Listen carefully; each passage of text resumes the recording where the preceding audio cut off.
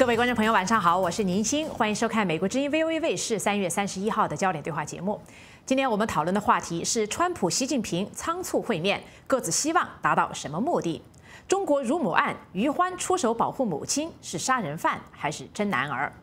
参加我们今天讨论的四位嘉宾分别是中天新闻华盛顿特派员张国华先生，网上政论节目《文昭谈古论今》的主讲人文昭先生。普林斯顿社会学博士、政治与经济学者程晓农先生，政论作家、时局分析人士陈破空先生，欢迎各位参加我们今天的焦点对话节目。好，让我们先来看一看川普和习近平峰会。美国总统川普将在下个星期在佛罗里达州的马阿拉戈庄园会见中国国家主席习近平。现在离会谈只有不到一个星期的时间，但是美中双方罕见的低调，没有按照惯例公布相关的细节。一些分析人士认为，这次峰会仓促成型，而双方在很多重要议题上分歧尤深，搞不好弊大于利，伤害两国的关系。民意支持低迷的川普和面临十九大重头戏的习近平，各自希望在这次高峰会上达到什么样的目的，给国内的民众传递什么信息？双方就朝鲜、经贸等重要议题达成突破的可能性有多大？今天我们首先来分析一下这个话题。那么，首先我们来谈一谈文昭先生。我们知道美国。有一些分析人士认为呢，川普上任以来对华政策摇摆不定。那么在川普政府对华政策尚未成型的时候举行峰会，违背了交易的艺术，因为他自己好像并不清楚想从中国得到什么。我想听听您的看法是什么？呃，我觉得坦率的说呢，我对川普的对华政策也一直有一种莫测高深、捉摸不透的感觉。因为川普的特点，他表现出来呀是推特治国。Twitter 的特点是一百四十个字，只能表达碎片化的观点，没办法做系统完整的阐述。所以我们经常看到川普在公众面前呈现的语言风格也是这种社交媒体式的，就是他经常直不冷耸的给你来几句特别简洁的话。然后很雷人，确实也很吸引注意力。像他昨天又发推特了，说这个不能够坐视中美这种贸易逆逆差的巨大和美国工作机会的流失啊，这种表述确实很吸引眼球。但是他没有完整系统的阐述，所以对于他到底怎么理解对中国的关系，以及他完整的世界战略是什么，他的人格思想是什么，我们都缺少了解。也许这个是他的一种策略，也许他本来就缺少这种能力。嗯，但是从他的碎片化的观点吧，就是从他这些碎片化观点出发，呃，看起来呢，他想从中国得到的，最想得到的是贸易逆差的减少和工作机会回到美国。嗯，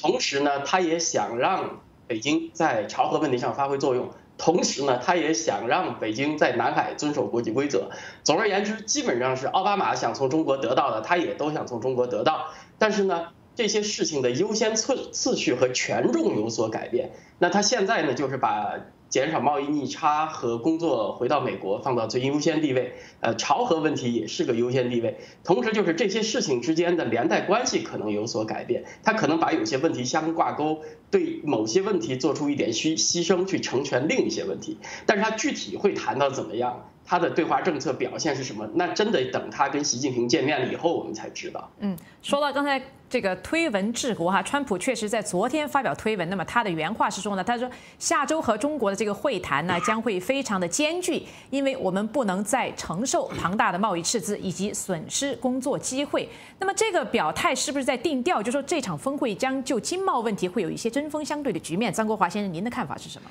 经贸问题一定是这一次这个川西峰会的一个。最主要的话题，那昨天我们看到实拍摄，白宫发言人已经说了嘛，哈，第一个呃就是这个经贸问题，第二个就是南海问题，第三个是这个北朝鲜的问题，朝核问题，所以这个经贸是个很大的问题。那这个昨天川普在推特上再次强调，在这个经贸问题上，他觉得美国不能再承受下去，这个中国的这个贸易顺差一定要减少。这个美国的就业机会一定要回来。其实这个一半是说给美国人听的了，说给美国的选民听的。就是当初我给你们做的保证，你看我现在要跟中国的这个国家主席呃做峰会的时候，我要重点谈这个问题，告诉你们我履行我的承诺。那么另一方面呢，他对这个习近平而言呢，也是漫天要价。先告诉你，你来了，你要给我好好想一想，对不对？我不用出任何本钱，这是无本生意嘛。这个商人他就是漫天要价就地还钱，所以这也体现了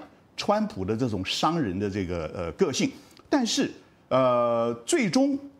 这个贸易上怎么谈，做什么交易？我觉得这次不是来做交易的。习近平这次来访问，主要是来摸底的，想看看川普你到底有什么想法，呃，然后回去再做这个研究。因为这个真正的高峰会啊，两国的元首很少面对面来谈判做交易，通常要签一个什么东西，其实手下人都已经安排好了。对。嗯，好的。那么陈晓农先生，我们知道美国国务卿蒂勒森本月早些时候访问中国的时候呢，他重复了中国方面有关新型大国关系的十四个字的定义。当时中国政府是感到非常的满意哈，也比较兴奋，很多这个民间的分析人士。但是白宫发言人史派瑟昨天他表示，他说眼下美国和中国有很多重要的事情要做，那么美国关心的是进展问题，而不是是否提出一个所谓响亮的口号的问题。那么你对史派瑟这个评论你是怎么看的？呃，我基本上同意这个看法。这次高峰会有两个特点，两个急匆匆。第一个急匆匆是双方从开始接洽落实要见一次面，到双方安排真实见面，中间只有三个星期时间，这是超出常规的，非常匆忙。第二点，习近平一开始对是不是来美国访问有点犹豫，美国提出邀请以后，最后习近平还是答应。而且是工作访问，匆匆而来，谈完就走，这两个急匆匆说明一个问题，就是在这次峰会谈判中，双方都意识到有一些非常紧迫的重大问题需要立刻就谈，而这个问题呢，应该不是那种常规性的靠幕僚在细节上一项项推敲的问题，而是一些大政方针，双方都需要在这次谈判中摸对方的底。要了解对方在这些重大问题上到底可以做到哪一步？我认为这个重大问题其实不是贸易问题，贸易问题只是川普在推特上能够说的话。真正要谈的重大问题是现在正在不断升级的这个朝鲜的核武危机问题。好的，听听陈伯辉先生的看法。呃呃呃，个结合刚才几位的谈话哈，这个有的赞同，有的这个有我有一些不同的看法。首先，这一次的访问不是这个川普方面提出来的，是习近平方面，是中方要求的。呃，对习近平来说，只要实现这次中美元首会晤，他就已经是成功了。因为在国内有个交代，尽管中国国内的媒体高调的反美，一直高调反美，但对中国政府来说，实际上中美关系是重中之重。任何一个领导人要处理好中美关系，在党内、国内就能得分，在十九大就能巩固他的地位，而且还暗示川普或者川普的这个政府啊，不要这个添乱，因为在川普在美国手上也有很多牌，什么令完成啊、郭文贵啊，还有其他的机密资料。那么如果说中国这个川普要给这个十九大中共的十九大添乱，可以放一些风出来对习近平不利，说习近平需要稳住这个台子，而对川普来说，他愿意接受这个这个会谈的话。是因为川普要得到一些实际上的成绩。实际上，川普不是不清楚他对中国要什么，他非常清楚。从竞选到竞选后到现在都非常清楚，他要的就是实现美中贸易的这个贸易平衡，呃，那个逆差归零。另外就是这个朝核问题、南海问题要解决，都很清楚，说线索非常清楚。只是说他有技巧，像这次他提出了两句话。这个关于这个贸易逆差啊，这个工作机会不能再忍受，而且这个希望美国的公司要寻找替代，准备好寻找替代。这句话就是一面这个两听，一个是策略，一个是目标。策略就是说用这个话来告诉习近平，这个我们不能够再接受这样的贸易逆差了。这是他是川普最需要实现他的竞选承诺，他的最大的政绩的体现，要一个结果。那另外一点，他就是这个暗示已经给美国企业打招呼，告诉习近平。我们可以跟别的国家、别的公司做生意，不见得跟中国或者中国公司做生意。所以他希望习近平在双方让步。但我刚才同意小龙的一个说法，就是朝核问题才是最可能双方达成共识的地方，因为这个问题从中国的媒体上大量来看，中国准备在这方面做出让步。嗯，我们知道美国有一句说法哈，所有的国际关系实际上都是由国内政治决定的。那么，呃，川普和习近平，一个是民意持续低迷的新总统，一个是急于在刚才陈伯公先生说到十九大巩固权力的领导人。那么，文昭先生，您认为川普和习近平各自希望通过这次高峰会给自己国内的民众传达什么样的信息？呃，其实我也是觉得这一次川习会，特别是在它开头阶段，主要是中方比较主动想和美方接触。啊，这个是稍微回顾一下刚才那个问题，因为二月份迪勒森在二十国首长峰财长外长峰会上见王毅的时候呢，马上是国内媒体，中国国内的媒体先报道出来，是说为川协会铺路，美国没有说，然后再然后是杨洁篪到美国来，所以从这个阶段来看的话呢，是北京那边先主动的，说两个人急于会面呢，对于习近平来讲，他最想传递的一个信息，主要是稳定国内的这个经济形势，呃，因为习近平他在和川普之间就这个一中原则呀，就是石头落地以后，他最想取得的一个承诺就是美国不给中国加这个出口商品的关税。他最想做的事情就是要传达一个明确的信息。他能够把川普搞定，能够把中美关系稳定下来，这对他自己来说也是一个非常重要的事情。因为中美关系如果老出现波动的话，很占用他的精力，在经济上、在外交上对他这个政权都比较不安全。他和别的国家打交道，别的国家也要看中美关系，比如说现在的中韩关系。那么。这就会非常牵扯他今年后半年的一个非常重要的任务，就是安排十九大的权力布局。所以从习近平的角度来讲，他非常不希望把这两个事情搅在一起进行，对他很不利。那其次，他还有一个确实有一个逻辑次序的问题，就是说，呃，中方为什么急于和美方见面呢？他要赶在和美国和俄国修复关系之前，因为如果美俄关系先修复的话，那么中俄这种半结盟来抗美的这个力量就会被削弱，那么中国在美国面前，他就不太容易作为一个平起平坐的对手。所以说呢，他如果希望达成一个更明确的一个经贸关系的话，他也需要尽快赶在这个美俄首呃川普和普京见面之前。嗯，好的。我们知道以前美中两国领导人举行高峰会哈，双方都非常的高调，尤其是中国的媒体。但是这一次我们都注意到，双方都比较低调，而且一直到一个星期到现在也还没有公布整个这个行程的细节，跟以往的做法不太一样。那么，呃，张国华先生，您对这次这个低调您是怎么看的？为什么是这样的？呃，这个问题其实比较好，呃，比较简单了哈。这个中国人特别重面子。嗯。那以前我们看到这个呃中美的高峰会啊，如果要安排的话，时间比较长。然后呢，这个出来的讯息也比较多。嗯，为什么呢？因为基本上都是到华盛顿来做国事访问，做国事访问的礼数比较多。嗯，所以很多东西都是在谈礼节。嗯，这个礼节对中国特别重要，因为中国的这个电视观众在电视上看这个国家领导人到白宫作为这个呃贵宾，这个感觉到很爽。这个礼节对美国人来讲，美国人不太注重是不是国事访问，对，他注重着我们能谈出什么东西。所以这个呃，这一次呢，没有这么长的时间去准备，没有这么多信息出来，就是因为它是一个工作访问，甚至说是一个非正式的访问。那在这样的情形下，因为没有红地毯，因为没有礼炮，没有国宴，所以呢，这个呃。大家都比较低调，还有一个呢，如果太高调，最后出不来成果，也会让人失望。所以他就是来摸摸底、握个手，这个初次见面多关照这样的一个会议。嗯，好的，陈小龙先生，您的看法？我倒觉得他们不见得是这个单纯是摸底，而是双方知道一些基本的底线问题上可能是谈不拢的，但是谈不拢也得谈，因为双方，比方讲在朝鲜问题上。呃，现在根据美国情报部门已经披露的信息，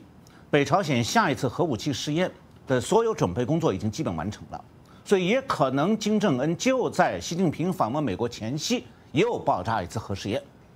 那么很很显然的，核武危机再次升级，所以对双方的元首来讲，如何在这些问题上？了解到对方可能让到哪一步，双方在哪些问题上能够达成共识？比方讲，中美双方都不希望，呃，北朝鲜的核武危机继续升级。但是中国是不是能够完全放弃保护北朝鲜？等等这样的问题，现在都是需要摸底的。而且我觉得，之所以双方低调，就是一方面知道不容易谈妥，另外一方面，呃，很可能谈出来的结果是不能上台面的。嗯。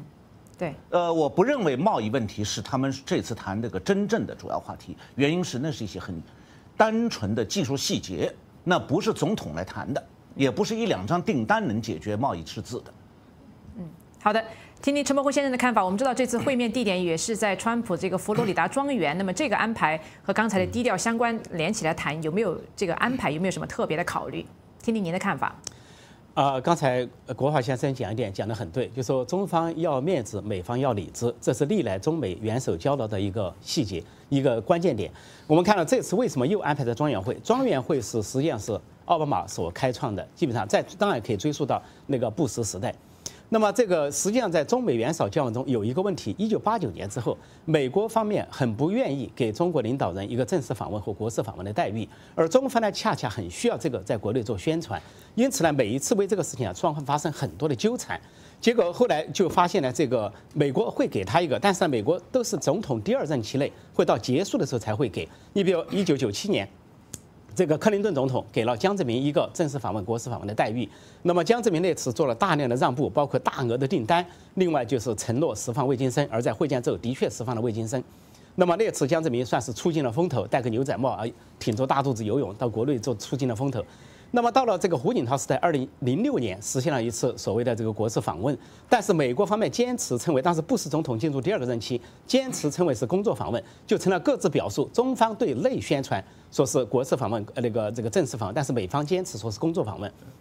到了习习近平时代也是这样。那么首先是奥巴马给他一个庄园会。那么到了奥巴马快结束的时候，就是二零零一五年的时候，才给了习近平一个相对在白宫正式的这么一个待遇，但是也称为工作访问。而习近平在西雅图停三天，只在华盛顿停一天，马上就赶到纽约参加联合国大会，又停留的时间都不能太久。就美国政府，他要面对民意，他在第一个任期内，他不太敢冒险给非友邦、非盟邦，又是非盟主国家的这个领导人一个正式访问、国事访问的待遇。所以这个庄园会就可以两两全其美，双方都避开这个庄园会的好处，就是一方面不让美方感到。为难和勉强，另一方面，中方领导人赢足了面子，在国内宣传上，中方领导人说是拉近双方元首的私人关系，而私人恢复不打领带，什么呃不不呃不不穿西装，好像显得还挺亲近。中国老百姓就神乎这个被忽悠的神乎其神，还觉得我们我们的领导人非常有面子，看着跟人家坐在庄园里边。那么这次到这个马阿罗嘎庄园，事件呃这个马阿这个拉拉高这个名字很难称哈，拉哥。实际上就是安倍首相去的，我们看到这个差别很大，亲疏有别。安倍是第一盟邦，亚洲的第一盟邦友邦。那安倍不仅在白宫享受了这个二十一响礼炮。红地毯、国宴，这个、这个、这个正式的这些啊待遇，那么蓝草坪等等，而且呢是搭乘空军一号跟这个川普同时乘总统专机抵达那里，打了七小时的高尔夫球，然后这个会谈一边打一边会谈。那习近平只是后半段在庄园会谈，绝对没有七小时高尔夫球的安排。说这就显出啊这个远近有别、亲疏有别。说在这后面都显示了中美两国的博弈，而这一次的元首会是仓促安排的。嗯，好的。我们知道文兆先生，相比于这个川普对华政策的摇摆多变，刚才您也提到，那么呃，开始是竞选的时候对中国有很多的打压，然后上来以后对一中的问题提出挑战，但是后来又顺应一中问题，呃，确定这个原则等等，就是这些多变相相比于这个川普的多变呢，中国有一些外交人士赞扬习近平是淡定自若哈，面对川普以不变应万变，而且让呃坚持中国这个核心利益，让川普呢这个不战自败。那么您对于中国方面？这些评论人士的看法，您有何评论？我觉得习近平啊，他说不上是淡定，就是说他不淡定，他做不了别的，他也不是以不变应万变，因为以他现在的角色，他不适合做出什么改变。过去二十年美中交往，主要利益是在中共这一边，他是主要的获利者。他的目的是维持现状，他不想去改变什么的。你要让他说什么的话，他肯定是说好这个一中原则，你美国要承认，对台军售你也不能搞，然后经贸关系也要维持现状，是吧？不能给中国商品加关税，你美国还得对中国开放那个投资市场，啊，什么华为这些你还能得到美国来投资。同时在南海，他得想怎么做就怎么做。朝核问题上啊，你得美国去和朝鲜谈判，你要让他说，他肯定都这么说。都是原来这些说法，就是说他不会主动改变什么，他现在的立场只能是说根据川普做什么，川普怎么改变现状，他自己再来调整，所以他得先等美国出牌，这是他现在的立场，就是他是守护既得利益的，他是一个维持现状者，你让他不淡定，他也干不了别的。嗯，呃，那么在朝核问题上，其实也是同样的，就是说如果现在习近平要翻脸了，就是说要放弃朝鲜，那就等于对中朝翻脸。中朝关系翻脸，这虽然说对中国本身的战略安全来讲，并不会有什么太实质的损失。中美的经济关系的稳定，对中共政权和中国自己的经济安全关系关联系数更大一些。但是呢，它会造成呃，习近平在党内有些意识形态上的压力，比如说有的他的对手会说他对美国妥协啦、丧失党性啦、抛弃同志啦，就是对他在十九大方面的这个争权的过程中还是会有一定影响。所以在朝核问题上，他是有压力，但是他也有难处，所以他也不是马上能做出什么，他也只能淡定。所以对川普来说是刚好相反，因为川普他是要对选。兑现竞选承诺，他不是维持现状，他得改变现状。他改变现状就得去尝试，尝试的话，他要重新定义各种事物的优先级，而且他要把筹码重新洗一遍。重新洗一遍呢，就是说有些事情它的之间的关联的方式得改变，所以他就会有尝试，有尝试就有摇摆。我觉得这个是比较正常，因为川普政府他才刚上任两个月嘛，他很多想法还没有定型呢。嗯。好的，张国华先生好像有什么要？哎呀，川普这个的确是摇摆不定，呃，为什么呢？因为他没有历史的包袱，他也没有从政的经验，他就是他商人的这种这个意识，呃，因为摇摆不定可以为他赚来利益，而习近平不一样，习近平有历史的包袱，像一中原则啊、中美建交的三个公报啊，那在这些问题上，习近平是无路可退的，川普不一样。哎，川普说三个公报要不要？我们可以重谈呢，对不对？所以为什么我我是觉得这个呃，习近平呃也不是淡定了，其实也很着急。那这次这么快的要来跟这个川普见面，就是怕他在这个中美关系已经约定书成的一些这个原则上，怕他太出格。嗯，好的，陈角龙先生，您的看法？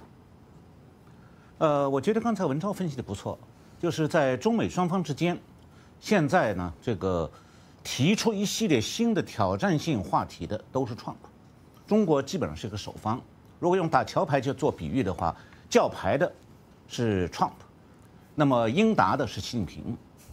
所以下一步的问题就是叫完了以后，双方彼此之间可以知道对方手中有什么牌，自己手头的牌准备怎么出。那么在这个过程中，呃，我觉得西方不少主流媒体有一个误判，那就是他们把 Trump 上任前就正式到白宫就职之前，呃，言论还有一些行动当做判断 Trump 今后政策的基石，这种判断是错的。错在哪里呢？就是那个时候的 Trump 只不过是凭着他个人的直觉和经验，在发表一系列言论，他还没就任总统。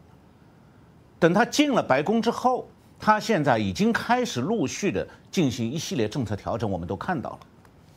那么在这个政策调整过程中，这一次中美峰会本身也是这个政策调整过程的一个部分。通过这个峰会，中美之间才能摸到一些双方的底牌，了解今后中美关系基本走向的一些重大的关键因素，双方能够控制到什么程度？呃，比方讲，在朝鲜问题上。中国到现在为止一直是一个两面派做法。最近中国表面上是宣布说要制裁北朝鲜，呃，包括制裁跟核武器有关的设备，也就是说以前他从来就没制裁过。尽管联合国那个决议早就公布了，但是这两天我们又发现北朝鲜的矿物运输船照样停在中国的港口，也就是说中国还在偷偷的从朝朝鲜进口这个矿物原料，也就是给北朝鲜输送外汇。从这个角度来讲的话，就是中国对朝鲜问题的这个基本立场，它到底打算玩到什么时候？美国很清楚，之所以把这信息披露出来，就是告诫中国说，你玩的那个两两面手法，我们一清二楚。嗯，但我们也知道，中国不太可能放弃对北朝北朝鲜的保护。那么，究竟